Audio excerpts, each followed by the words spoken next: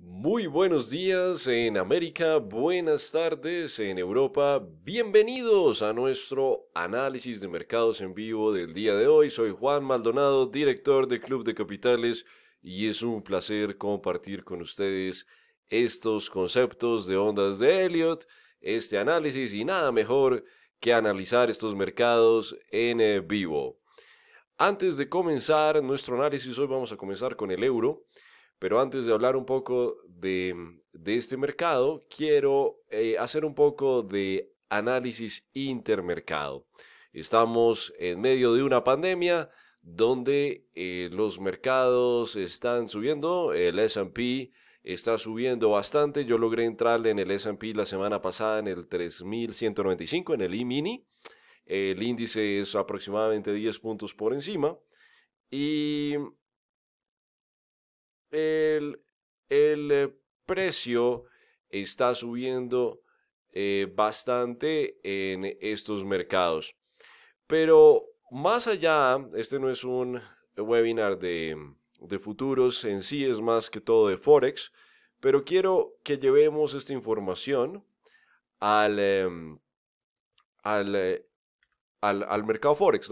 ¿Cómo podemos llevar todo esto al mercado Forex. Entonces para eso voy a hacer un ejercicio con la curva M2, que para mí en este momento es la curva conectora entre la economía, lo que está haciendo la Fed y el mercado de monedas y por supuesto la fortaleza o debilidad del dólar. Para esto eh, vamos a utilizar este weekly quiero que hagamos un ejercicio aquí bien interesante que la semana pasada hice para mis clientes y que les gustó bastante. Recibí varios emails de las personas de la membresía comentándome lo valioso que había sido este análisis y por eso quiero compartirlo con ustedes hoy. El M2 es simplemente la cantidad de billetes disponibles en la economía.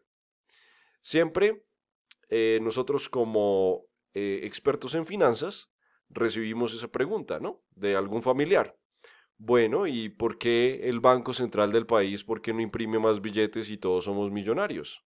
¿Cierto? Siempre recibimos esa pregunta, eh, incluso desde que estamos en la universidad estudiando economía o estudiando finanzas, es de las primeras preguntas que los familiares o amigos nos dicen.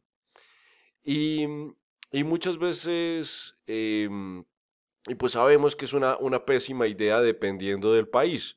Por ejemplo, en Venezuela, se han visto que esa fue la estrategia, imprimir billetes, cerremos fábricas, imprimimos billetes y le regalamos eh, esto a todas las personas y, y, miren lo que está pasando. Entonces, obviamente, no es bueno por el tema de la inflación, pero Estados Unidos es otro nivel.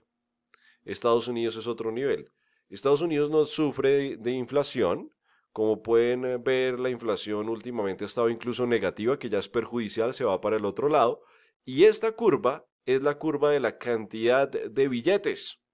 La cantidad de billetes que se están imprimiendo y que se están pasando al mercado. Y prácticamente se están regalando. No sé si están al tanto de los programas de desempleo en Estados Unidos, donde se agregaron, fuera, fuera de lo normal, de lo que se le entrega a cada persona cuando está desempleada, eh, se le agregó es cerca de, mm, de 600 dólares semanales, ¿no? A cada persona. Ya ahorita se va a desmontar el programa, pero pues está haciendo prácticamente eso. Vamos a imprimir billetes y se los regalamos a las personas. También se les envió un cheque de mil dólares adicional al principio de la pandemia a la mayoría de estadounidenses que ganaban menos de 100 mil dólares y por eso pues vemos esta aceleración en la curva. Naturalmente, la curva del M2 tiene que crecer en el tiempo porque la economía va creciendo. Entonces ustedes pueden ver esta curva aquí desde 1984 cómo ha venido subiendo en el tiempo. Eso es algo normal. ¿Por qué? Porque la economía va creciendo y se necesitan más billetes. ¿Cierto? Eso es normal, es sano, no hay ningún problema. Pero noten la aceleración que estamos viendo eh, en la curva, en la aceleración que estamos viendo en la curva durante la época de la pandemia. Entonces, como ustedes saben, el SP al principio de la pandemia, cuando comenzó, cuando llegó a Estados Unidos, cuando comenzaron los cierres, entonces se hizo, eh, se cayó el mercado y la Fed salió de una forma muy agresiva y dijo, no, voy a imprimir billetes. Sí, en resumidas cuentas, voy a imprimir billetes y voy a salvar esta fiesta. Y lo hizo, y funcionó. Entonces, este, esta aceleración en el M2 se puede ver claramente. Si simulamos de una forma fácil, de una forma simple, cómo hubiese sido la curva, y aquí tengo que moverme un poco a la derecha, cómo hubiese sido la curva eh, sin la actuación de la Fed. Supongamos que no hubiese sucedido una pandemia, sino que el mundo hubiese seguido en su crecimiento normal, más o menos hubiese sido algo como esto, ¿cierto? Estamos de acuerdo, más o menos. Y en términos de tiempo, quiere decir que estaríamos en el 2026, 2025, en el nivel de cantidad de billetes que necesita el mercado em, que se está presentando hoy en día. ¿Cierto? Es un análisis bastante sencillo. Estamos con un M2, probablemente unos cuatro años, eh, seis años, cinco años más adelantados de lo que deberíamos estar en una economía normal. ¿Y esto qué quiere decir desde el punto de vista de oferta y demanda? Entonces eh, eh, tenemos el, el, famoso equilibrio entre, entre la oferta y la demanda, ¿cierto? Y ese es el, el precio. Entonces, por un lado, tenemos la demanda y por el otro lado tenemos la oferta. Es una balanza, ¿cierto? Y eh, en este caso, ¿de qué estamos hablando? De los dólares americanos. ¿Qué es la curva M2? Pues la oferta de dólares. Y con eso cuando la oferta está muy alta, ¿qué pasa con el y la demanda y la demanda se mantiene igual o disminuye? El precio pues va a subir. Perdón, el precio va, el precio, el precio va a bajar. Y cuando tenemos eh, la oferta disminuyendo y la demanda creciente o estable, el precio va a subir. Esto quiere decir que el dólar tiene una presión bajista en términos generales por la cantidad de dólares que están en el mercado. ¿Cuáles son los factores que pueden influenciar la demanda? Entonces, primero, que el mercado en Estados Unidos se, fuera a la baja, por ejemplo, que el SP colapsara, algo que no, no creo posible, pero es un escenario. ¿Por qué subiría la demanda de dólares ahí? Porque si el mundo está en problemas, sabemos que el SP es el termómetro de la economía del mundo, entonces todos saltarían a comprar dólares, a cubrirse en el país más seguro del mundo, que es Estados Unidos, que es la economía principal del mundo. Entonces, esa es una, una opción. Y la otra opción es que Estados Unidos esté tan bien, que el mercado esté subiendo tanto, que sus indicadores estén tan buenos, que los inversionistas internacionales dicen, queremos ir a Estados Unidos a invertir. Porque ¿quién no quiere estar largo en un Tesla? ¿Quién no quiere estar largo en un eh, Amazon? ¿Cierto? ¿Quién no quiere estar largo en un Apple en el largo plazo? Todos queremos estarlo. Entonces, eso atrae inversión extranjera y puede aumentar la demanda de dólares. Pero sin duda hay muchos dólares. Entonces tenemos que partir del principio que eh, hay un exceso de dólar y que el dólar está débil, ¿cierto? Así de sencillo. Si pasamos esto al gráfico del dólar, pues no lo confirma. Aquí lo tenemos, voy a pasarlo por un momento a gráfico de línea para que lo podamos ver. También voy a hacer el weekly. Eso. Y podemos ver que durante esta aceleración del M2, el precio del dólar, el dólar index, ha estado bajando. Sí, tiene sentido en, la foto grande, porque hay más dólares en el mercado. Entonces, lo único que esto puede reversar la tendencia es esos dos factores. O un desastre o lo opuesto al desastre, un crecimiento histórico. Yo me voy más por el segundo lado. desde el punto de vista fundamental, que Estados Unidos la recuperación sea tan increíble que, quedemos mejor que antes, en, en un corto plazo. Sí, entonces eso puede aumentar la demanda de dólares. Con estas reflexiones, vamos ahora a enfrentarnos al gráfico en el euro y algunos otros pares para ver lo que está sucediendo. Quiero comenzar en el euro, en el gráfico semanal. En el gráfico semanal, si ustedes han seguido mis reportes, hace un par de semanas les comentaba que estaba comprando euros aquí para apuntar al 1420. Pueden encontrar ese artículo en FX Street y en Club de Capitales si lo quieren repasar. Entonces, el precio sube e impacta el objetivo. Sí, incluso va más allá, bueno, todo lo que se explicó en el artículo, tal cual sucedió. Pero ahora estamos en un punto bastante interesante, porque la onda 2 en términos de Elliot previa, y usted no necesita ser un experto para estar aquí en este análisis, no se preocupe, eh, si el precio sube por encima de este nivel, que es alrededor del 1.15, es incluso un poquito más abajo, pero a grandes rasgos es el 1.15, el conteo semanal tendría que cambiar. Es decir, que estaríamos en una figura expansiva si el precio sube. ¿Cierto? Ahí es objetivo, no es subjetivo, nada. ¿Cierto? Si el precio sube, simplemente el, conteo se actualiza, se cambiaría para algo más alcista. Ahora, la pregunta del millón, ¿cómo hacer trading con esta información? Entonces, mi, último trade fue allí. En, esta, en esta consolidación se compra y se apunta al 1420. Sí, en, términos de análisis. Ahora, ¿qué vamos a hacer? Y viene la, pregunta eh, frecuente, ¿no? Por tener un conteo de Elliot posiblemente bajista, ¿vamos a vender en este momento? Porque el, el trader novato y el trader como fanático con las estrategias, lo que termina haciendo es lo siguiente. Dice, ve este análisis o lo hace por su propia cuenta y dice, listo, esta es una onda 2, pues fácil, voy a vender. ¿Cierto? Porque estoy en la onda 2. Pero probablemente entonces también vendió aquí, o probablemente también vendió aquí, o probablemente también vendió aquí porque también estaba en la onda 2.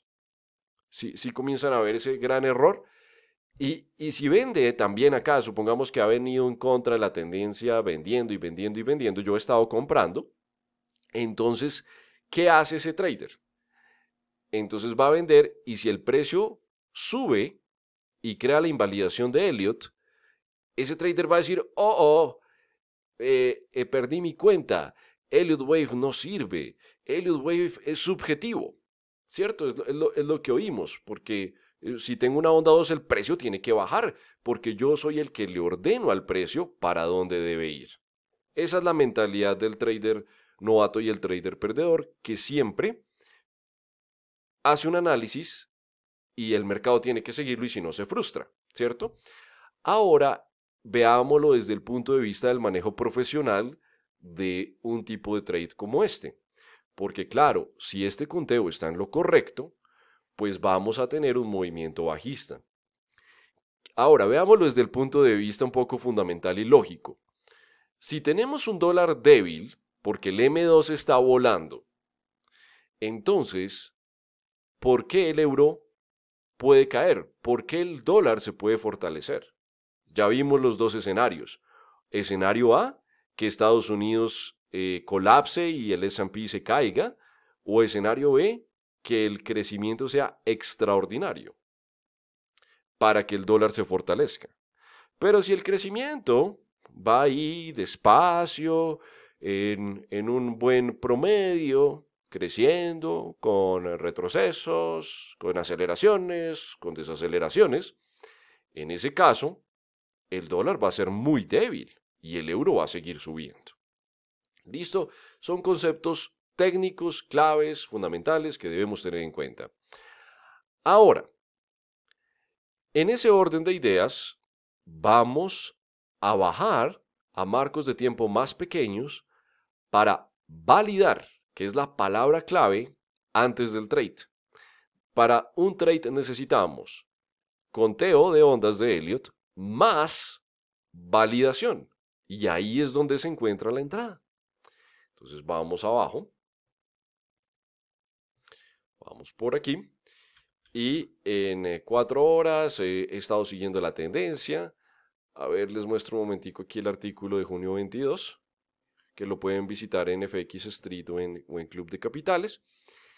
Y mm, veamos lo que estábamos viendo aquí. Les, lo pueden leer si no lo han leído. Y estábamos buscando este final de onda 4. Agrandemos el gráfico. ¿Sí? Este era el estimado. Y este es el actual. ¿Sí? Entonces yo hice ahí por ahí algunos ajustes en, el conteo, hice por ahí algunas maniobras, pero como pueden ver, en términos de dirección funcionó muy bien. Ahora, la pregunta es, ¿estamos aquí? ¿Para dónde vamos? Porque el euro está bastante alto su precio, ¿cierto? Ya es como muy tarde para comprar, no sé si estén de acuerdo. La última compra, por lo menos de un swing grande, fue en esa, en esa correctiva, ¿sí? en toda esta correctiva. Se analiza, se toma una decisión y ahí es cuando la parte de traders que llevamos dentro dice, listo, yo voy a entrar aquí, yo voy a entrar aquí, yo voy a establecer mi stop loss aquí. Ya viene como la magia del trading, ¿no? A veces incluso teniendo la dirección se hace un desastre el, trader que no sabe operar y terminas perdiendo, incluso sabiendo hacia dónde vamos. Entonces, eh, volviendo al tema de validar el final de la onda 2, voy a ir al marco de tiempo de una hora y les voy a dejar un plan de trading bien sencillo. Entonces, sabemos que, que todo fundamentalmente puede estar en nuestra contra. ¿Listo? Entonces, primer, primera, eh, primera semilla que vamos a poner en nuestra mente. El euro fundamentalmente tiende a subir. No tanto porque el euro sea fuerte, débil, sino porque el dólar es muy débil. ¿Por qué el dólar es muy débil? Porque hay muchos dólares en el mercado. ¿Cómo sabemos que hay muchos dólares en el mercado? Mirando la curva M2. Completamente objetivo el análisis. Ahora, ¿qué puede pasar para que eso cambie? En términos técnicos, si este es el techo del mercado, yo aquí no compraría y mucho menos vendería. Pero si este es el techo del mercado, entonces vamos a ver cinco ondas de Elliot. 1, 2, 3, 4 y 5. Cuando estas ondas aparezcan bien claras, bien precisas, cero subjetivas, esperamos el descuento. Entonces, tres ondas en contra. ¿Listo? Y ahí, esta sería onda 1 y onda 2. Ahí yo buscaría la entrada. ¿Eso qué quiere decir? Pues usaría mis estrategias, pero si no tuviera las estrategias, supongamos que estoy en medio del desierto con una hoja de papel que alguien me pasa y me dice, mire, aquí está el precio actualizado del euro. Entonces, y no tengo indicadores y no tengo nada, entonces haría este dibujo y diría, vendo aquí, a la ruptura de la línea de tendencia onda 2. Sí, eso es lo que yo haría si estuviera en la mitad del desierto. Pues con las estrategias, con los indicadores y pues con toda la tecnología que tenemos hoy en día, naturalmente entraría más rápido. Pero eh, así es simple. Sí, así es simple. Y si el precio en el euro vuelve a subir por acá, que es lo más probable, entonces analizamos el momentum. En este momento el momentum está en pérdida. Revisamos el momentum y si el momentum sigue en problemas, volvemos a buscar las cinco ondas de Elliot y las tres en contra. Porque puede que en el weekly impacte el, el 1.15 y nos haga cambiar el conteo, pero eso no quiere decir que ahí se vaya a disparar al alza. También podemos tener un retroceso. ¿Sí? Entonces ahí estamos. Eso es lo que yo estoy siguiendo, eso es lo que estoy mirando en el euro. Quiero mostrarles algo más. Mm, veamos, veamos el Dollar Cat. En el Dollar Cat, esta semana, mi plan era vender el Dollar Cat. Pero no lo hice. A ver, les muestro mi experiencia con el Dollar Cat. momento que estoy aquí abriendo el, gráfico que les quiero mostrar. esto hace parte de los gráficos que reciben mis clientes todos los días. Entonces quiero mostrarles el reporte de ayer para que viajemos un poco en el tiempo y veamos cuál era el plan. Eso. Listo, entonces miren. Ese es el reporte del día de ayer en el dólar CAT. Entonces, el conteo de Elliot nos sugiere que necesitamos ver un ciclo bajista con un objetivo mínimo por aquí abajo. Sí, hasta ahí está claro. Entonces, el día de ayer, mi estrategia, yo todos los días pues planeo las estrategias, actualizo los conteos, esto pues a veces eh, de un día para otro puede cambiar, todo esto, ¿no? Pero mi estrategia era la siguiente. Dije, voy a buscar cinco ondas y apenas marque el retroceso, mi dólar CAT, me voy en corto, porque aquí tengo una altísima probabilidad desde el punto de vista Elliott Wave para visitar esta zona del 1.35 por lo menos o más allá. Sí, pero ese era mi primer objetivo. ¿Por qué sabía esto? Con tanta probabilidad. Gracias al estudio de la correctiva. Y esa es una de las eh, puntos más importantes que un analista técnico puede aprender bien sea que se especialice en las ondas de Elliot como yo lo he hecho, que requiere tiempo, requiere dedicación, requiere bastante trabajo, o de pronto que lo haga de una forma más simple entre, diferenciar entre una correctiva y un impulso. Pero créame que ese es uno de los pilares del buen trading. Porque yo ya sabía que esto era correctivo, mas no sabía cuándo iba a terminar. Pero por eso me fui con esta configuración. Ese era mi plan. Ahora, veamos lo que pasó y el motivo por el cual no pude entrar en el trade. ¿Listo? Entonces este es el actual. El forecast era 1, 2, 3, 4 y 5, A, B y C, donde este iba a ser 1 y este iba a ser 2. Entonces mi plan, yo planeo los trades con mucha anticipación. Nunca debemos improvisar. Eso es lo peor que usted puede hacer en su trading. Siempre se planea con anterioridad y usted dice, ¿qué es? Esa es la, pregunta que usted debe resolverse, debe resolver primero cuando está haciendo trading.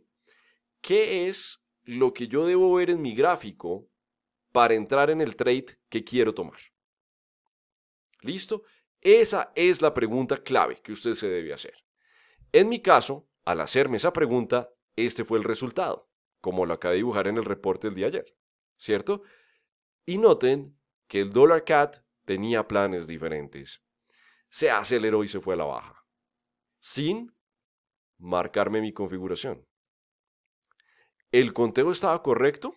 Sí, ¿cierto? El conteo estaba correcto porque cayó y la dirección era correcta y esto era una correctiva y el precio necesitaba ir por lo menos acá donde los profesionales tomaron profits como pueden ver, y, em, y siguió. ¿Cierto? Perfecto.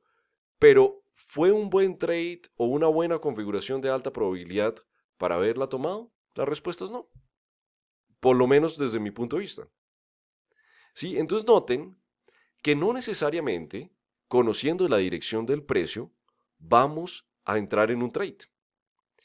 Pero ahora imagine que usted como trader tiene, por ejemplo, eh, vamos a, ver, por ejemplo, que tengamos tres pasos para ser exitosos. Sí, que, uno, que me preguntaran, bueno, pero en resumidas cuentas, ¿cuáles son los tres pasos? Dígame tres pasos para yo ser exitoso en esto, en este negocio. ¿Listo? Entonces, el primero que yo le diría que debe usted em, dominar es saber hacia dónde vamos. Entonces, dirección del mercado. Si que usted vea un gráfico y usted diga, voy a, voy a ir hacia arriba, voy a ir hacia abajo, o no, voy a, no creo que, que, vaya a ningún lado, puede ir arriba, puede ir hacia abajo. Todo eso debe definirlo. Si usted no es exitoso en este primer paso, frene. y trabaje en esto hasta lograrlo. Sí, como en este caso el dólar CAT. Yo creo que esta es una correctiva y yo creo que vamos a bajar. ¿Sí? Entonces, cuando uno logra ser exitoso en este primer paso, obviamente no va a ser el 100% de las veces, pero sí un alto número. Aquí sí necesitamos que esta efectividad sea bastante alta. Un 80 o un 90% de las veces que estemos en lo correcto, en términos de dirección. Dos, cuando pasamos esta primera fase, entonces ahí sí nos preguntamos cómo vamos a entrar cuando encontramos la futura dirección del mercado. Entonces podemos buscar las cinco ondas. Yo dependiendo de la estructura a veces soy más agresivo. Bueno, ya, ya viene toda esa parte de trabajo personal de la parte estratégica. Entonces podemos decir que el segundo paso es la estrategia. ¿Cierto?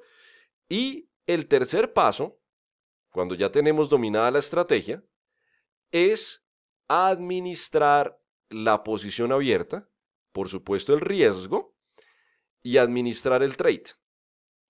Porque si, si, yo digo, no, es que, es que voy a ir hasta este punto de aquí, aquí cierro mi trade y luego hago esto, eso es mentira.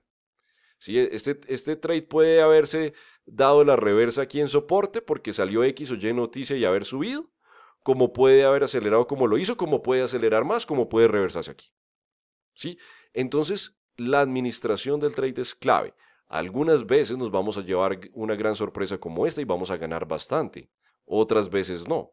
¿Sí? Entonces por eso debemos, este tercer paso es el que debemos dominar cuando ya hemos logrado dominar la dirección del mercado y cuando sabemos con una alta precisión el cambio del ciclo. ¿Cierto? Esa administración es clave. Y lo otro es perder muy poquito.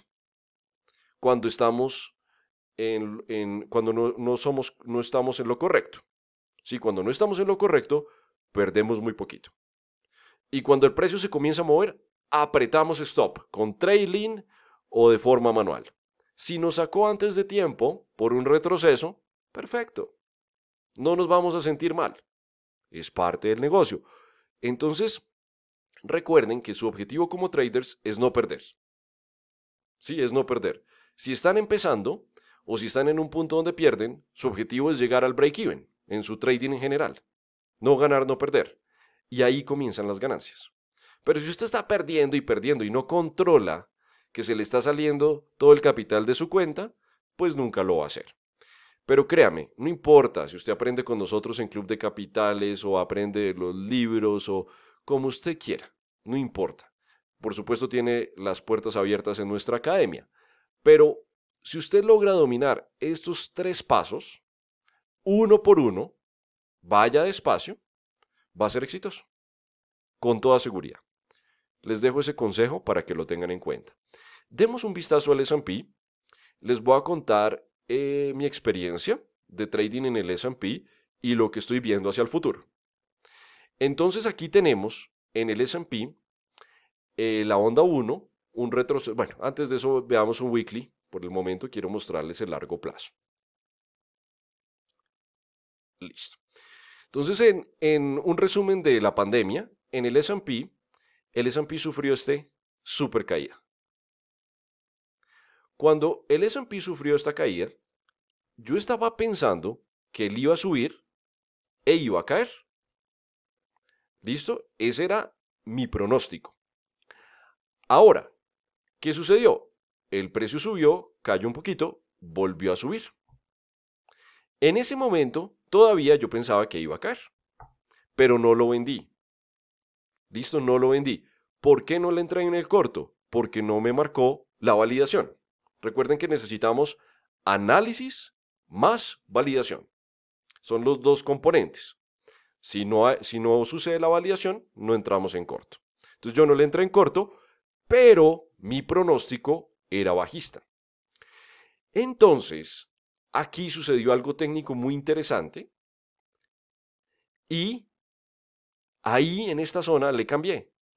Es decir, que yo no puedo decir que haya, haya detectado el piso en el S&P, si yo no lo hice. ¿Dónde vi que el S&P iba a subir? Aquí, en esta zona. Y desde ahí sí me comencé a posicionar en largo. Y he tenido unos trades increíbles. Entonces, aquí ya comencé a dibujar como unos escalones en S&P. 3100, 3200, 3300, 3400, que era donde estábamos antes de la pandemia. Y de ahí, pues yo he hecho swing interno, ¿no? Swing, swing, swing, swing. Y ya, y ya voy a tomar otro swing. Muy pronto. Voy a volverme a subir en la compra. La idea es llegar al 3400. Cuando lleguemos al 3400, el precio puede seguir. 3500, 3600, 3700. Eventualmente hará un retroceso. Ese retroceso puede ser o como este, si, si tenemos, que ya es difícil, ¿no? Porque es que estamos recuperándonos muy rápido, o, por ejemplo, esto, y seguir subiendo. ¿Desde hoy puedo dibujar de esa manera el precio? No. Y yo creo que nadie en este mundo lo puede hacer. ¿Cierto? Entonces, en el momento que esto llegue, que el retroceso llegue, pues vamos a decidir si se nos acelera el momentum, podemos ir con algo más profundo, si, si desacelera el momentum, podemos ir eh, con algo más conservador. Eso dejémoslo para ese momento. De momento solo tenemos como un sketch, ¿no? como, como un, un template, llamémoslo así, de las posibilidades. Pero con un alto nivel de probabilidad, eso sí, en el, en el corto plazo, mediano plazo, estoy apuntando a cruzar el 3300 y luego el 3400. Y además en términos de stocks, estoy largo en Netflix y estoy largo en Alibaba y, voy a estar largo en Bank of America. Amazon no le alcancé a entrar. Bueno, entonces, eh, vamos a marcos de tiempo más pequeños y les muestro lo que hice la semana pasada y lo que estoy planeando hacer en este momento. Entonces, la, la semana pasada el S&P comenzó esta correctiva. Yo le compré aquí a la reversa en el 3205. Dejé un stop de 10 puntos bien pequeñito, es decir, en el 3195 y en el E-mini, porque este es el índice, en el E-mini esos niveles son un poquito diferentes, son 10 puntos más abajo. Ups. Un momento, abrimos aquí el E-mini. Aquí lo tengo en tiempo real. Entonces, em, en el E-mini esa consolidación fue aquí, ¿cierto? y la entrada fue en el 3195 con el stop en el 3185. Entonces noten toda esta cantidad de puntos. Un excelente trade. Ya esta mañana le cerré cuando vi que los compañeros profesionales están haciendo lo mismo. Esa es una buena estrategia. ¿Cierto? Listo. Entonces le, tomé profits y demás. Y ahora vamos al conteo. Y voy a bajar el de una hora. Pero imaginen esto. Este tipo de trades. Arriesgo 10 puntos y me gano 70. Eso es un 1 a 7.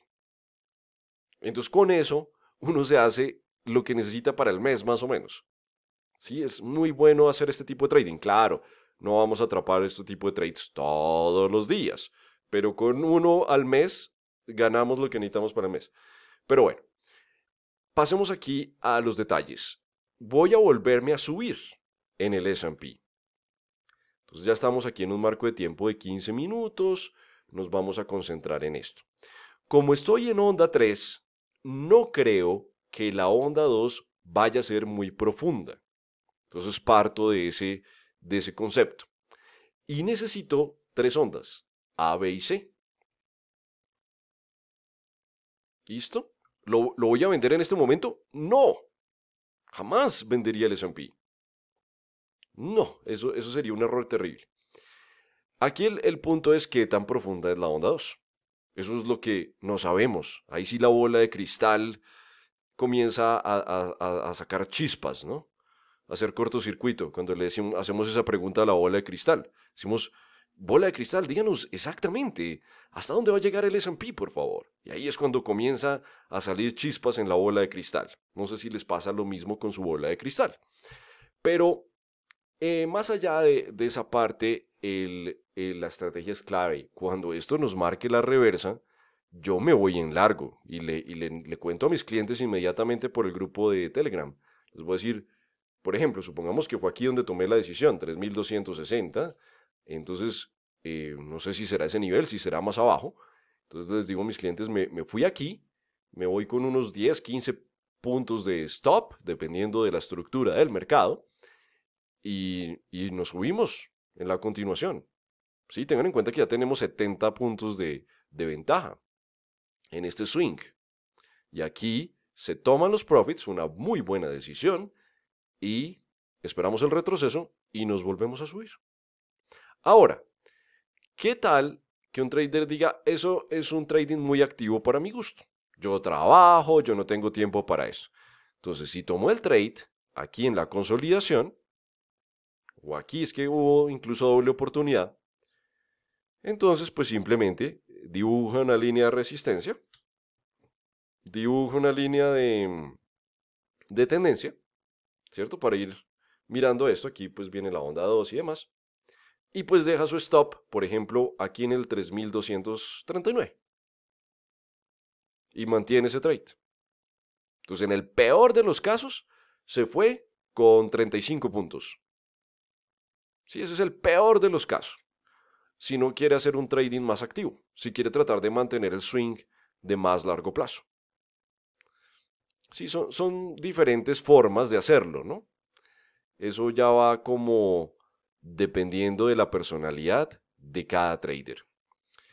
Bueno, los mercados financieros son muy apasionantes, sin duda. Lástima que tantas personas pierdan. ¿Por qué?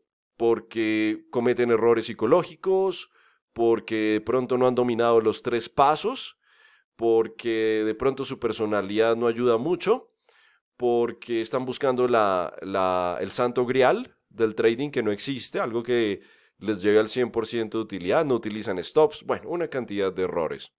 Pero la buena noticia es que si usted está perdiendo o no está alcanzando sus objetivos, todo tiene solución. Esa es la buena noticia.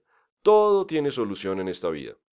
Pero eso sí, deje de hacer lo que está haciendo para poder avanzar. Yo llevo muchos años en, este, en esta industria del trading tengo formación universitaria en, finanzas y mm, he dedicado mi vida entera al trading. Eh, me apasiona tanto el trading que me gusta enseñarlo, pero enseñarlo en los mercados en vivo. Para mí eso es importante, porque si nos dedicamos simplemente al pasado, a que yo hice esto aquí, yo hice esto aquí y demás, creo que uno no aprende, o por lo menos cuando yo estuve eh, como estudiante, como aprendiz, bueno, todos los días aprendemos cosas. Eh, yo creo que uno como trader es estudiante toda la vida, pero me refiero como a esa fase inicial.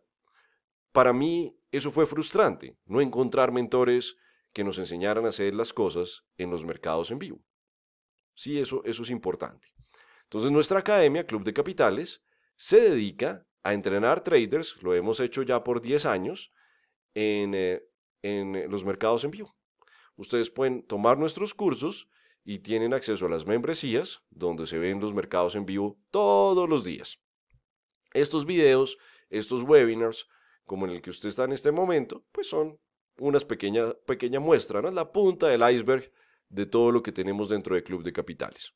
Si ustedes visitan nuestro sitio web, en la pestaña Membresías encontrarán los tres niveles de membresía que ofrecemos en la actualidad, con los instrumentos que cubrimos, con eh, las ideas de trade y con el análisis. Entonces aquí pueden visitar esa página. Tenemos una oferta al final de la página eh, de AvaTrade. Y mm, eh, pueden abrir su cuenta, seguir aquí unos pasos que hacen clic acá para ver un PDF y nos contactan y demás, siguen los pasos y pueden tener acceso a nuestra membresía sin costo dependiendo de su depósito inicial. También pueden tomar nuestros cursos. Tenemos cursos para todos los niveles, desde básico hasta avanzado. Así que los invito a que exploren nuestro sitio web. Si tienen preguntas, en la parte superior encuentran nuestro WhatsApp. Allí un representante de servicio al cliente les atenderá, les resolverá todas sus dudas o pueden escribirnos al correo electrónico. Bueno, traders, un placer compartir con ustedes este análisis para este mes. Muchas gracias por su tiempo. Espero que antes de este webinar ustedes hayan tenido un concepto del mercado y salgan con uno diferente para mejorar. Que tengan una excelente semana, un excelente día y nos veremos en Club de Capitales. Que estén muy bien y hasta la próxima.